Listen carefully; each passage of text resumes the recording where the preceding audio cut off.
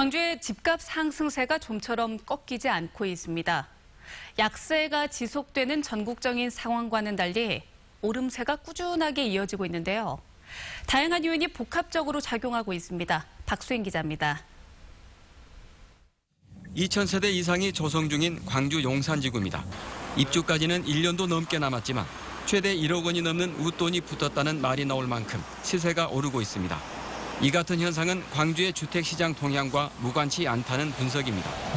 광주의 아파트값 상승세가 식지 않고 있습니다. 문재인 정부 들어서도 계속해서 오르고 있습니다. 올 들어서도 수도권을 제외한 지방의 집값은 하향세인 반면 광주는 활기를 띠고 있습니다. 파리 대책으로 대변되는 정부의 고강도 가 빠진 데다 올해 입주 물량이 지난해의 절반 수준에 불과해 신규 아파트 수요를 충족하지 못하고 있기 때문입니다.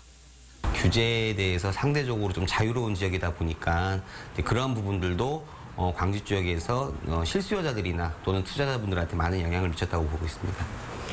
또 광주의 인구는 매년 감소하지만 오히려 세대 수는 증가하고 있는 것도 집값 상승 요인으로 작용하고 있습니다.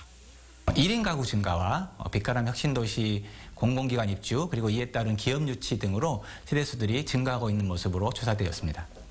광주가 다른 곳보다 매매가 대비 전세가 비율이 높고 전세 수급도 원활치 않아서 내 집 마련에 대한 욕구가 강한 것도 주목할 만한 대목입니다. 수요는 많은데 공급은 제한되면서 광주의 미분양 물량 역시 큰 폭으로 감소했습니다. 광주의 집값 상승세가 당분간 계속될 거란 전망 속에서 최근 대출 연체율이 다소 상승하고 있는 건 눈여겨봐야 할 지표입니다. MBC 뉴스 박수인입니다.